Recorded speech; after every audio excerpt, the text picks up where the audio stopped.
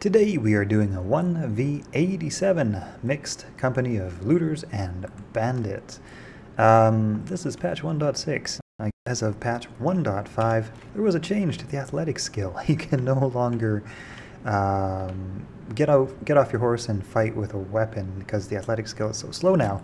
Everything is going to be about horse archery in terms of, of being able to solo armies. Um, you're just you're just not fast enough otherwise to potentially have a chance to not get entirely overrun by gangs and gangs of low tier troops, whatever they are. Whatever you're facing up against, there's just no chance anymore. Um, I, I feel like the athletic skill honestly has too slow now. Like I can definitely see some slowdown being good, but it is so slow now. It's almost like you're a noob just starting the game again. Just like there's almost like no additional boost from athletics anymore, which kind of is uh, unfortunate for anybody who kind of kind of likes to solo solo it a little bit. You're gonna definitely just be ranging and kiting, ranging and kiting now.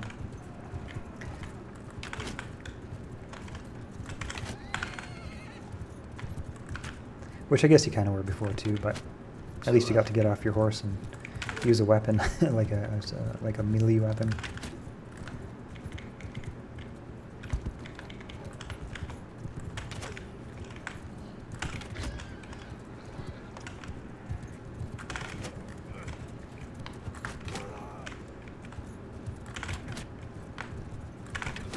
There is something fun about plinking a horseman off, off his horse at top speed, though.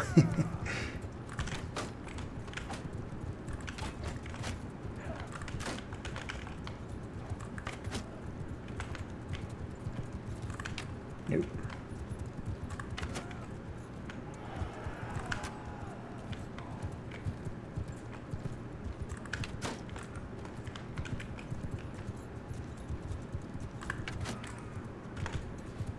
Alright, that's almost all of the horsemen. Almost all the bandits. We'll take care of the rest before we deal with those looters so they can't come at me from behind. Is that guy running away? Kind of looks like. Not sure. Maybe. Oh, I think so. So we'll let him be. That's fine. That's fine. I feel like there was one more. Well, that's okay. I guess I'll start working on the looters. Looters are easy, as I'm sure you all know. There we go. Last one. Nope. Only took his horse down. That's fine. Looters are easy because, well, you aim for the head. Aim for the head, save your arrows. Range and kite. Not much to it.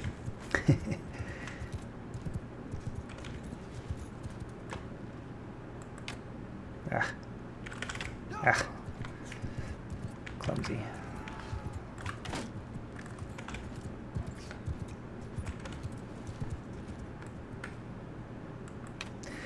If you are soloing, one thing you may notice is that your skills start going up so, so very quickly. it is the fastest way to become a high-level beast of a soloist warrior.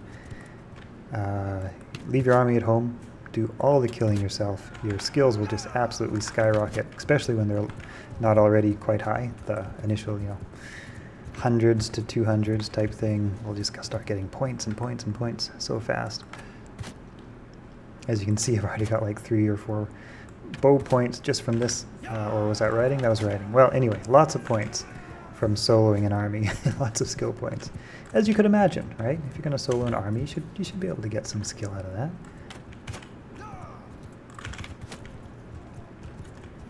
Yeah, that's the thing about looters. They will start to break morale-wise as soon as you, as as basically, they make no kills, right? So they don't get any morale advantages, uh, and you are making kills on them, and so they're very quick to to lose morale and start running, even when they have superior numbers still left. I would run too, though, if you know we hadn't killed a single guy who had you know taken down half an army already. Um, yeah, no, running is the right running is the right move. Oh.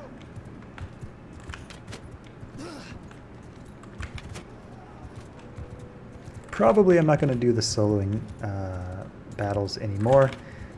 Maybe a little bit, but I think I'm going to get more into army versus army battles, mixed, uh, you know, pitched odds or bad odds type thing. Just because um, it gets a little bit repetitive, but also at the same time, it's not really even that doable anymore. so maybe I'll find some other strategy. I don't know. But that's it. That's the battle. We used three quivers of arrows. we killed 44. We gained uh, seven riding points, five archery points.